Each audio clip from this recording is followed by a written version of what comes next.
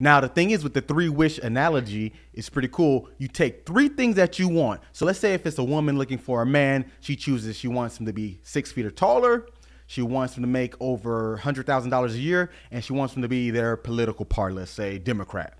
Now, if we just take 100 men, for example, in a room and put them in the room with this woman, if she says he needs to be over six feet, that's 20% of the American population, meaning just off that, there's only 20 men already left in the room. Now, when it comes to earning, only about 10% of people, let alone men or women, make over six figures or 100,000 in America. So now you can just say there's only about 10 men left.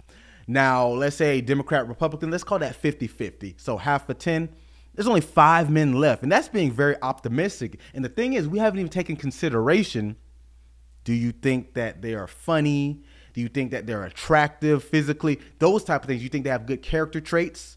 And also on top of that, they have to like you back. So the thing is, we make these standards, these rules, we don't realize how small it makes our dating pool. Now, it's not saying you can't have preferences, but Dr. Tashiro's work looks at what preferences or personality traits really matter.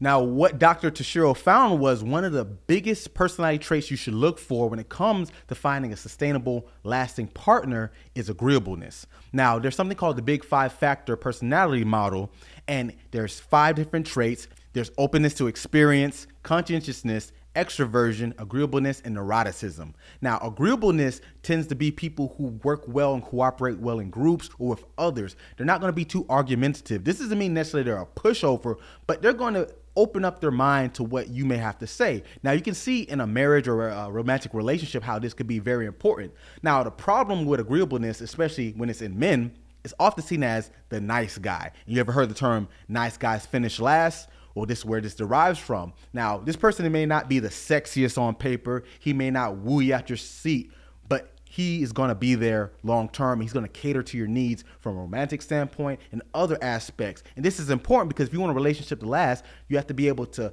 give and take. People talk about compromise all the time in relationships, but the agreeable person is going to be this person. Now, someone who's high on neuroticism, this is a person who's more worrisome, they get more anxious, uh, things that are not in their control, they have issues, especially if their partner is low on neuroticism, because they're going to be envious of why aren't you worried? Why aren't you stressed? And this is going to ruin and hinder the relationship. Now, you can see these different traits